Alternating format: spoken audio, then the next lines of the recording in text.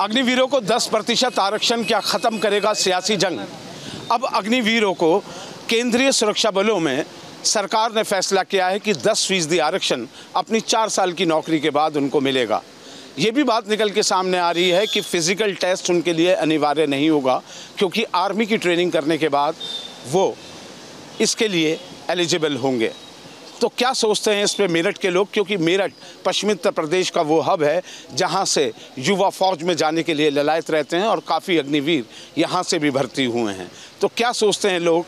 ये जान लेते हैं। क्या नाम है साहब मेरा नाम सुहेब रिजवी है। शोएब क्या लगता है कि ये दस प्रतिशत जो आरक्षण दे रहे हैं राजनीति इसमें जो चल रही थी अग्निवीर को लेके एक सियासी जंग थी। अलायंस जो था समाजवादी पार्टी और कांग्रेस का उन्होंने चुनाव में बहुत ज़ोर शोर से ये मुद्दा उठाया था। तो क्या लगता है जंग अभी ख़त्म हो गई? दस परसेंट आरक्षण से या अभी जारी रहेगा ये मुद्दा? नहीं, जैसे ही अग्निवीर योजना आई थी तो ये तो सभी लोगों ने के समझ में आ गया था, सरकार का एक गलत फैसला था। अब ये सरकार भी दबाव में है इसमें, और उसके भी समझ में आ रहा है, जब भी उसमें के आप बता रहे हैं कि दस परसेंट रिजर्वेशन केंद्रीय सुरक्षा बलों में दिया जा रहा है, या दूसरा जो और भी, मेरा तो ये कहना है कि पूरी तरीके से गलत तो है ही अग्निवीर योजना। पुरानी व्यवस्था को बहाल कर दिया जाए या तो। क्योंकि हम जो लोग गाँव के रहने वाले हैं गाँव में जो छोटे किसान का बच्चा या कमेरे वर्ग के जो नौजवान उसका एक सपना आर्मी का होता है होता था वो अब कहीं ना कहीं जो वो टूट गया है। तो उसे दोबारा बहाल किया जावे और अग्निवीर में जो सारे सुधार किए जावे। अब ये हाँ, क्या नाम है साहब? मेरा नाम पराग शर्मा है जी। पराग क्या लग रहा है आपको? मेरे हिसाब से तो इस योजना में ये आरक्षण का जो इन्होंने ये दिया है ये एक अच्छी चीज़ है लेकिन अभी और इसमें बहुत सारी सुधार की ज़रूरत है। दस परसेंट मेरे हिसाब से कम होगा इसको और आगे लेके जाना चाहिए। सर नमस्कार क्या नाम है आपका? S P Singh. S P Singh साहब अग्निवीर को लेकर आप तो गाँव देहात से ही आते हैं। तो 10 परसेंट आरक्षण की केंद्रीय सुरक्षा बलों में बात की जा रही है आप इसे कैसे लेकर हैं? क्या सियासत कम हो जाएगी इस पर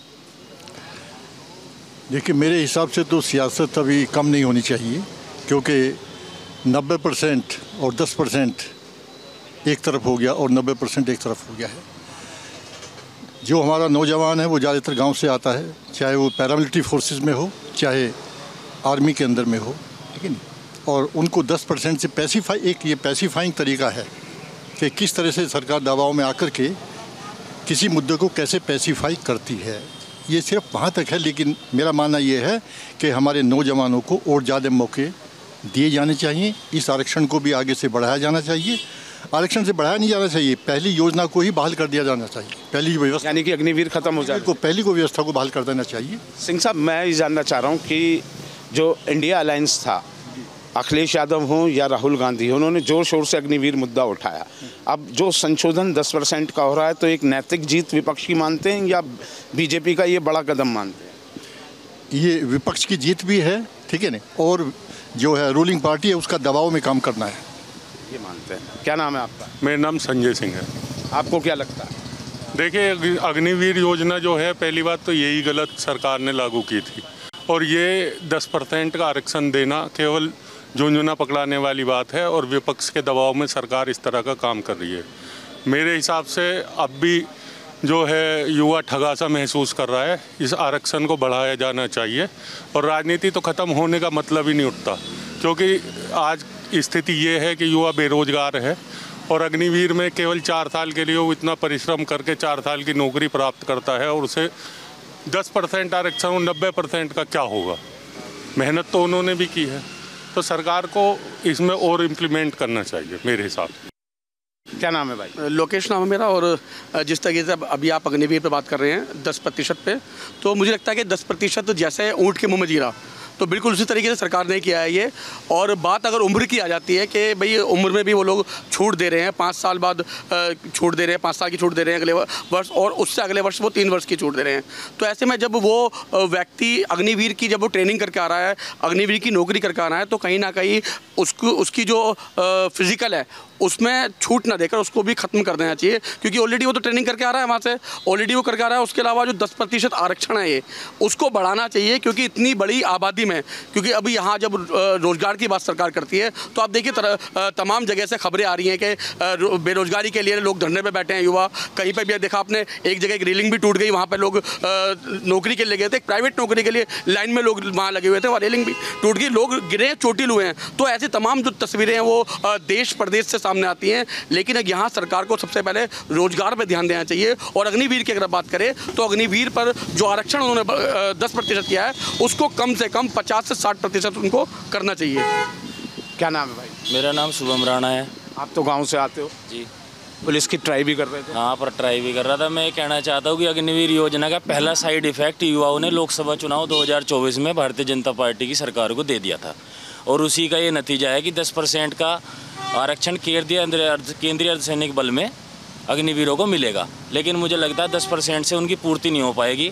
और आप देखेंगे अगर आप इस वीडियो में एक वीडियो पाँच सेकंड की वो भी चला दें जब सुबह के चार बजे देहात की सड़कों पर पैर धरने के लिए जगह नहीं मिलती थी। और अब जब देखते हैं तब कभी गाँव जाते हैं सुबह सुबह तो इक्का दुक्का कोई लड़का रनिंग कर मिलता है।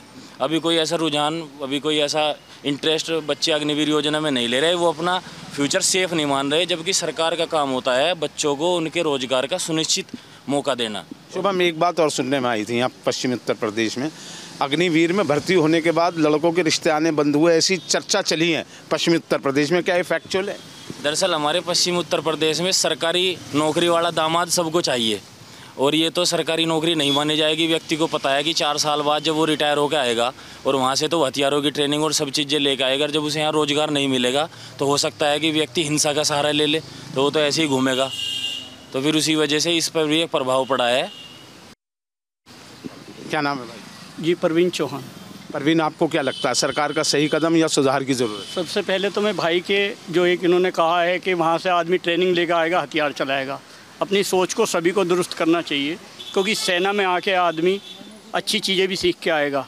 देश पर, देश प्रेम भी होगा आप लोगों से बात करिए, देश प्रेम नाम की चीज़ ही दिखना बंद हो गया। एजुकेशन इस टाइप की रही नहीं है। और बात रही कि अग्निवीर तो कंपलसरी कर देना चाहिए। अगर कोई 18 साल का बच्चा पाँच साल देश के लिए ट्रेनिंग करके आएगा तो देश के प्रति सोचेगा हाँ इसमें संशोधन की ज़रूर ज़रूरत है। जो आदमी चार साल बाद आएगा, उसे आठ साल मिलने चाहिए कम से कम, कि सेना में रहे। उसके बाद कम से कम पचास प्रतिशत लोग कहीं ना कहीं सरकारी जो भी नौकरियाँ हैं उसमें उन्हें छूट मिलनी चाहिए। एक तरह से आरक्षण मिलना चाहिए। तो अग्निवीर से मैं पूरी तरह से संतुष्ट हूँ। लेकिन ये बिल्कुल कहना गलत है कि लोगों को रोज़गार नहीं है अग्निवीर गलत योजना है। हाँ इसमें संशोधन की ज़रूर ज़रूरत है। हाँ, क्या नाम है आप जी मेरा नाम अभिनव शर्मा है। अभिनव आपको क्या लगता है? एक एज अ यूथ कि अग्निवीर कितना सही कितना गलत कितना संशोधन की ज़रूरत? क्या सरकार ने विपक्ष का जो मुद्दा था, वो छीन लिया, दस परसेंट आरक्षण देकर देखिए, अगर स्थिति देखी जाए, हम लोग बोलते हैं कि युवा है, बिल्कुल बेरोजगार घूम रहा है। कहीं ना कहीं उसको सहारा भी मिलेगा। अगर उसे कुछ काम करना है, कहीं ना कहीं उसे सपोर्ट नहीं है, पैसा नहीं है कुछ कोर्स करने का, चार साल काम करेगा, आगे कुछ भी कर सकता है वो। और रही बात इसमें है कि, भाई, मुद्दे तो गवर्नमेंट एक गवर्नमेंट है, दूसरी गवर्नमेंट, उसमें कुछ ना कुछ खामियाँ निकालेगी। गवर्नमेंट ने भी अगर ये काम करा है कुछ सोच के ही करा होगा। कुछ अच्छा ही सोचा होगा। भाई, जो हमारा युवा है, वो इस लायक बन जाएगा चार साल काम करने के बाद कि वो कहीं जैसे आत्महत्या करने की कोशिश करते हैं, लोग कि मेरे पे काम नहीं है, कुछ नहीं है, इतना ट्रेंड हो जाएगा, वो कहीं भी किसी भी परिस्थिति में अपने को सर्वाइव कर जाएगा। गवर्नमेंट का बस मुद्दा ये था कि भाई, आदमी को यूथ को इस लायक बना दिया जाए कि ये कहीं गलत कदमों पे ना जाए और अपने को स्टैंड कर सके। जी। तो आपको लग रहा है संशोधन की ज़रूरत है देखिए थोड़ा संशोधन की तो ज़रूरत है बाकी योजना कोई बुरी नहीं है। जहाँ लोग खाली घूमते थे लड़के आवारागर्दी कर रहे थे उन्हें कहीं ना कहीं एक रास्ता ऐसा मिल गया कि हाँ भाई जाएँ देश के लिए करें और अपने लिए कुछ करें। क्या नाम है आपका? चिन्मय जोशी। चिन्मय आपको क्या लगता है? मेरे को लगता है कि विपक्ष की जो सियासत चल रही है वो 10 परसेंट आरक्षण आने के बाद भी ख़त्म नहीं होगी क्योंकि जो अभी तक सियासत जैसी चलती आ रही है वो पॉलिसी को बेहतर बनाने के लिए नहीं, अपनी राजनीति चमकाने के लिए चल रही है ज़्यादा। तो और भी कुछ ना कुछ ऐसा करके आएँगे इसमें यार उसका मुद्दा बनाया जाएगा दो तीन चीज़ें एक्स्ट्रा निकाली जाएँगी, जैसे बहुत सारी फेक न्यूज़ चलती है। उसमें बोलते हैं कि अग्निवीर को कुछ मुआवजा नहीं मिला, अभी कुछ कुछ टाइम पहले वो क्लियर हुई थी, उसके फादर ने बोला कि हाँ मेरे को एक करोड़ रुपये मुआवजा मिला है। तो ऐसी बहुत सारी मतलब गलत चीज़ें फैलाई जा रही हैं समाज में, उससे फिर एक विद्रोह होता है समाज में और वो गलत है, वो नहीं होना चाहिए। अब हमारे साथ नरेंद्र खजूरी जी हैं, वरिष्ठ नेता हैं, राष्ट्रीय लोकदल के। अब तो आप सरकार का पक्ष हैं, दस फ़ीसदी दे ही दिया आप लोगों ने। मैं इतना कहना चाहूँगा कि हिंदुस्तान एक बड़ा मुल्क है। बहुत बेरोजगार नौजवान गाँव में हैं और बहुत मजबूती के साथ गाँव की सड़कों पर बहुत तैयारी करते थे। और हिंदुस्तान की फ़ौज, जिसमें पचास से साठ हज़ार फौजी हर वर्ष रिटायर होता है। परंतु जब हम विपक्ष में थे तो मेरे नेता ने दर्जनों रैलियाँ राजस्थान में, उत्तर प्रदेश में भी इस अग्निवीर के विरोध में की थी। और हमारा दल अग्निवीर का विरोधी पहले से रहा है, क्योंकि हम गाँव और देहात से जुड़े हुए लोग हैं। मेरा कहना ये है कि हिंदुस्तान जैसे बड़े मुल्क में, जो इसराइल की, रूस की, अन्य देशों की नकल हो रही है, सरकार का कहना ये है कि 50 से 60 परसेंट फौज की पेंशन और फौज के अन्य खर्चों में निकल जाता है। इसलिए हम हथियार नहीं खरीद सकते। उसका तरीका है, खोजना पड़ेगा। जो रक्षा विशेषज्ञ हैं, जो बहुत पूर्व सैनिक हैं, बहुत अच्छे अच्छे विद्वान लोग हैं, उनकी एक आयोग गठित होना चाहिए और उसमें अग्निवीर जैसी योजना का रूप बदल कर उसका कुछ ना कुछ स्वरूप होना चाहिए। अग्निवीर योजना तो रद्द होनी चाहिए। ये मैसेज जा रहा पूरी दुनिया में कि हिंदुस्तान पे फौज के खर्चा चलाने के लिए धन का अभाव है। इसलिए उसको भी बचाने के लिए और अग्निवीर योजना गाँव देहात के रोज़गार के लिए बहुत ज़रूरी है। इसको समाप्त करना ज़रूरी है। इसमें बहुत सुधार के और तो जैन चौधरी इस बारे में उठाएँगे बात? चौधरी जी ने बात उठाई है तभी तभी रिलैक्सेशन हो रहा है। सरकार विवश हो रही है। और हाँ उठाई उन्होंने बात। वो तो राहुल गांधी संसद में उठाते रहे अखिलेश उठाते रहे। ये उसमें नहीं हो रही। ये उनके अंदर खाना जब अंदर बात चल रही जब हम सरकार में चलेंगे तो सरकारी तौर से बात करेंगे। वो प्रयत्नशील है और अग्निवीर योजना के तो रद्द हो जानी चाहिए थी नरेंद्र जी लेकिन वो दस परसेंट आरक्षण हमारा नेता दस परसेंट पे आया है और भी सुधार करेगा इसमें। चलिए बहुत बढ़िया बात है। क्या नाम है भाई आप कुलदीप। कुलदीप आपको क्या लगता है अग्निवीर योजना का दीपक जलता रहेगा या फिर नए तरीके से बड़ा दीपक बनेगा? नहीं सरकार ने अर्धसैनिक बलों के अंदर इसमें दस परसेंट का आरक्षण दिया है। गवर्नमेंट इसी में जो हंड्रेड परसेंट कर दे क्या जो एक अग्निवीर का बच्चा है, क्या वो सारी एलिजिबिलिटीज़ पूरी करके अग्निवीर में नहीं आया? क्या वो दूसरी एलिजिबिलिटीज़ पूरी करके वो अर्धसैनिक बल में जाएगा, वहाँ भी तो सुरक्षा का काम करेगा? तो जब आप इतने परेशान हैं कि अग्निवीर योजना को लेकर आप संसद के जो चुनाव हुए, उसके ऊपर क्वेश्चन उठ गया, या आपको ऐसा लगने लगा कि आपने दस परसेंट आरक्षण दूसरी जॉबों में कर दिया तो क्या इसी को हंड्रेड परसेंट क्यों नहीं कर सकते हुए इसी को परमानेंट कर दें, नाम अग्निवीर रहने दें, क्या बात हो गई? जनता जिस चीज़ से दुखी है, योजना वही रहे, लेकिन उसके नियम बदल दें। क्या वो सैनिक बलों में जाके कोई क्लर्क का काम करेगा? वहाँ भी तो सुरक्षा का काम करेगा। आर्मी में भी क्या कर रहा है? वो भी वहीं कर रहा है। आप उसे दस परसेंट दे के जो है कि दिखाना चाह रहे हैं कि हम विपक्ष के दबाव में हैं या हम अपनी कई हुए गलती को सुधार रहे हैं तो उसकी इसकी ज़रूरत क्या है? आप इसी को रखें अग्निवीर और इसको जो है हंड्रेड परसेंट आरक्षण करें, उन्हें आर्मी में रखें। पहले भी तो भर्ती होती थी। पहले कौन सी वो घर चले जाते थे? उसके बाद जो है वहाँ पर वो रिटायरमेंट थोड़ी लेते थे। तो सरकार को इस बात के लिए सोचना चाहिए। दूसरी बात है, कहीं ना कहीं लोगों के अंदर रोज है, रोज़गार को लेकर रोष है। ये बहुत बड़ा सच है। युवाओं के लिए 18 से 40 वर्ग के लिए, किसी भी गवर्नमेंट के पास, किसी भी पार्टी के पास, इनके लिए कुछ नहीं है, खाली है। ये केवल इनसे झंडे उठवा सकते हैं, इन्हें पिटवा सकते हैं, इन्हें भीड़ में बुलवा सकते हैं, इनका यूज़ कर सकते हैं। फ़ायदा केवल 40 साल से ऊपर के व्यक्ति को ही मिलेगा। 18 से 40 साल का वर्ग सबसे ज़्यादा वोट डालता है, सबसे ज़्यादा इनके लिए लड़ता है, सबसे ज़्यादा सब काम करता है। लेकिन किसी पार्टी के पास कोई ऐसा मुद्दा है क्या कि वो अट्ठारह से चालीस साल के वर्ग के लिए कुछ सोचे?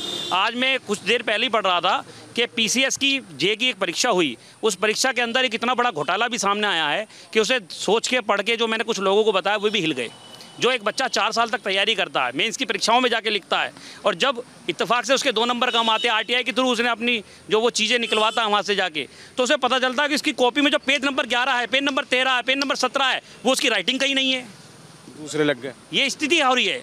तो सरकार कर क्या रही है रोज़गार को लेके?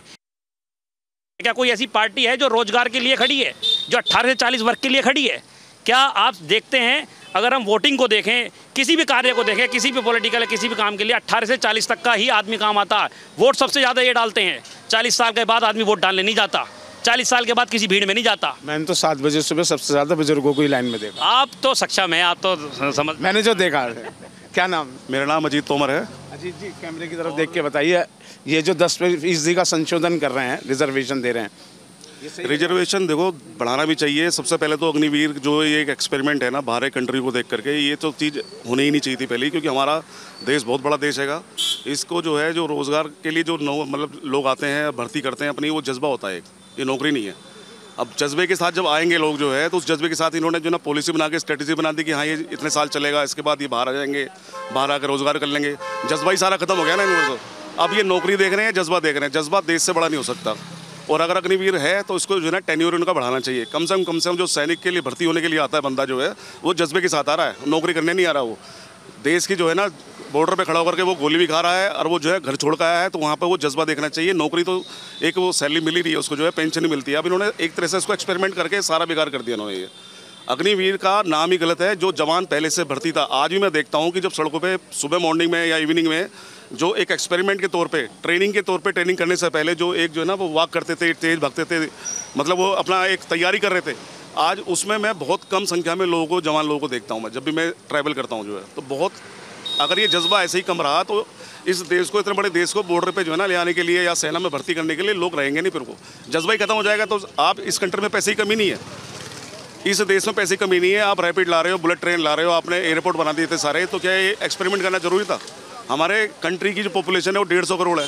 कल को 155 करोड़ हो जाएगी, साठ करोड़ हो जाएगी। तो उसको संभालने के लिए बड़ी सेना में एक जज्बे के लिए जो है जाना पड़ेगा इसमें। नौकरी नहीं है ये। तो अग्निवीर का आरक्षण इन्होंने अगर करा भी है, मैं तो चेंज नहीं कर सकता, लेकिन मेरा एक पर्सनल व्यू है ये। अगर आपने अग्निवीर का ये नाम दिया है तो इसमें टेन्योर बढ़ाओ। उसका जज्बा जब ही बढ़ेगा, जब आप इसको जो है फैसिलिटी के साथ इसको दोगे, ताकि उसका फैमिली वहाँ पर परिवार और देशवासी भी खुश होते हैं कि हाँ देखो ये गवर्नमेंट ने इतना बढ़िया काम करा है कि इसके साथ एक्सपेरिमेंट या कोई खेलवाड़ नहीं करा। इसमें किसी पॉलिटिक्स का जो है वो नहीं होना चाहिए कोई। ये अलग से था, बिल्कुल बिल्कुल वैसे ही रहना चाहिए ये। कुल मिलाकर ये मेरठ कॉलेज की कुटिया है, जब चुनावी चौपाल हम करते थे, इसमें से अधिकांश लोग बीजेपी के समर्थन वाले हैं। आज भी जो बीजेपी का समर्थन पक्की तरह करते थे। लेकिन अग्निवीर के मुद्दे पर सबके मत लगभग एक ही हैं कि इसमें सुधार की गुंजाइश है और 10 फ़ीसदी आरक्षण से इसमें कुछ नहीं होने वाला। अग्निवीरों का भविष्य नहीं होगा खराब। अब विपक्ष को मिलेगा जवाब। अग्निवीरों को अगर 10 प्रतिशत का आरक्षण मिलता है तो कितना बड़ा लाभ मिलने वाला है? तमाम जो सियासी रण है, क्या उसके ऊपर सियासी रण पर रोक लगेगी? और विपक्ष को कैसे जवाब मिलेगा? तमाम इस पर चर्चा करने के लिए कुछ लोग हमारे साथ हैं, सीधा उनसे बातचीत करते हैं, कि आखिरकार वो क्या सोचते हैं। दस प्रतिशत अगर आरक्षण अग्निवीरों को मिलता है, क्या लगता है कि विपक्ष मुँह पर तमाचा लगेगा? कोई तमाचा नहीं लगेगा। ये कोई अपने घर से थोड़ी दे रहे हैं दस परसेंट आरक्षण। ये तो जो सिस्टम है जनता में, अगर आरक्षण का मामला है तो आरक्षण देना चाहिए। कोई तमाचे की ज़रूरत नहीं है, बल्कि सरकार के मुँह पे तमाचा लग रहा है ये, एक तरीके से। आज हर चीज़ ठेकेदारी में लिया इस सरकार। क्यों ठेकेदारी ख़त्म नहीं कर रहे? संविधान पे आना चाहिए ना। जिसका जो आरक्षण बनता है उसको देना चाहिए सरकार को। ये तमाचा सरकार के मुँह पे लग रहा है। अग्निवीर योजना से क्या लाभ हो जाएगा? मानते हैं आप? कोई लाभ नहीं होगा। चार साल नौकरी करेगा छप्पन साल अपने घर बैठेगा। उसके बाद क्या करेगा वो बेचारा? उसका परिवार कैसे चलेगा? छप्पन साल की सर्विस सॉरी सॉरी छत्तीस साल की सर्विस में छत्तीस साल क्या करेगा चार साल में? चार साल बाद सर्विस करके घर बैठ जाएगा। जो नौकरी है कायदे से जो कानून चलता आ रहा है संविधान चलता आ रहा है उस पर ही सरकार को फॉलो करना चाहिए और विपक्ष हमेशा जो है संविधान पे चल रहा है संविधान के साथ खड़ा है। सेना की ज़रूरत है अग्निवीर? अग्निवीर तो कोई ज़रूरत नहीं है। जो पिछले जो सिस्टम चलता आ रहा है सेना का उसी सिस्टम पे चलना चाहिए ठेकेदारी ख़त्म होना चाहिए।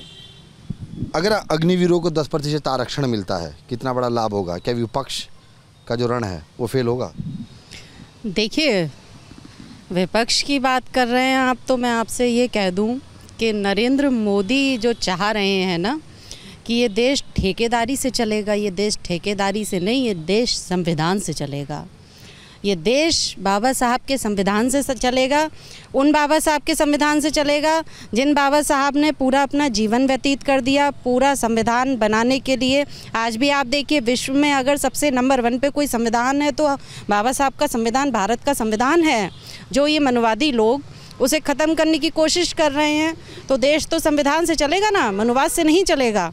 और रही बात अग्निवीर की तो अग्निवीर गलत है, विरोध हम करते हैं इसका। और जब तक अग्निवीर जैसी ये योजनाएँ, ये जो काले, काली योजनाएँ हैं, इनको जब तक हम ख़त्म नहीं कर देंगे, तब तक हम लोग खामोश बैठने वालों में से नहीं हैं। आपने भारत के जो बॉर्डर्स हैं, उनके लिए आपने क्या बना दिया? जो भारत की जो सीमाएँ हैं, उनको आप खेल समझ रहे हैं। क्या आप अग्निवीर लाएँगे और अग्निवीरों को वहाँ पर भेज देंगे? मैं कहूँगी सेना में जिस प्रकार से पहले भर्ती होती थी सेना में उसी तरीके से भर्ती होनी चाहिए। उनको शहीद का दर्जा मिलना चाहिए और प्लस जितनी भी हमारी सेना में जो जो फैसिलिटी हैं वो सब मिलनी चाहिए उनको। अग्निवीर जैसी सम, योजनाएँ बिल्कुल ख़त्म होनी चाहिए। इसका हमेशा विरोध करते रहेंगे और इसके लिए जितनी हमें लड़ाई लड़ी जाएगी हम उस लड़ाई को भी लड़ेंगे। हम उन सभी युवाओं के साथ हैं। आप युवाओं को देखिए, वो अपनी जान पे खेल के बॉर्डर पे रक्षा कर रहे हैं। आप हैं, हम हैं।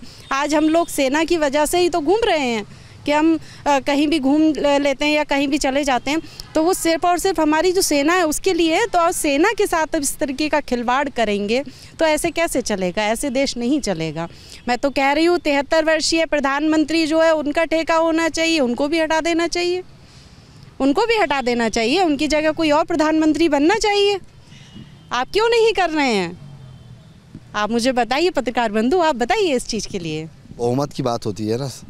नहीं बहुमत क्या है? बहुमत कुछ नहीं है। आपने इस समय ठेकेदारी बना रखी है जहाँ देखो वहाँ सिर्फ़ ठेके चल रहे हैं और कुछ नहीं चल रहा। आप ठेके में देख लीजिए पुलों का ठेका कितना अच्छा चल रहा है कितने पुल गिर रहे हैं कितने लोग मर रहे हैं। है ना? आप बाड़ों को देख लीजिए, कितनी बाढ़ें आ रही हैं। ठेके पे इन्होंने एयरपोर्ट बनवा दिए। उन एयरपोर्टों के कारण आज न जाने कितने लोग, कितने लोगों की मृत्यु हो गई। किस लिए हुई? क्योंकि आज देश ठेकेदारी पे चल रहा है। आज भारतीय जनता पार्टी जो, उसने सिर्फ़ और सिर्फ़ संविधान को एक तरफ़ रख के ठेकेदार बना दिया।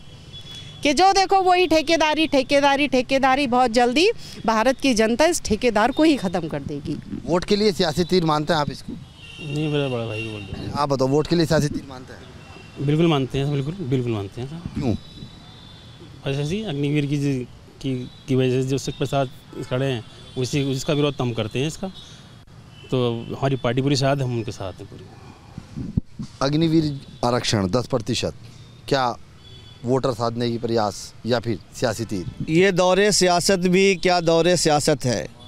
ये दौरे सियासत भी क्या दौरे सियासत है? बोलूँ तो बगावत है चुप हूँ तो नदावत है। अड़तालीस साल की नौकरी कोई नौकरी होती है? किसी फैक्ट्री में दस साल नौकरी करने के बाद भी अगर उसे मालिक निकाल देते तो वो अफसोस करता है। और चार साल के बाद की नौकरी कोई नौकरी है, हर सैंतालीस महीने के बाद वही कहेगा, आप छियालीस महीने रह गए, पैंतालीस महीने रह गए, आज बयालीस महीने रह गए, आज छत्तीस महीने रह गए। क्या हमारा जवान सरहद पे जाके यही गिनती गिनता रहेगा कि हमें अब क्या नाम है कि हमारे छियालीस महीने के बाद या बयालीस महीने के बाद हमारी क्या नाम है, नौकरी ख़त्म हो जाएगी।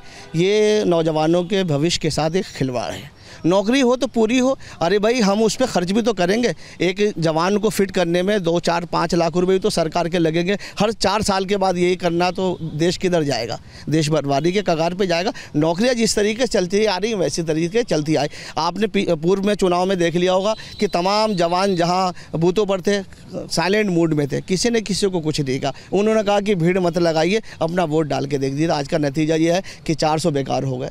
तो हम कहते हैं कि देश उस तरीके से चलना चाहिए जो देश की ज़रूरत है।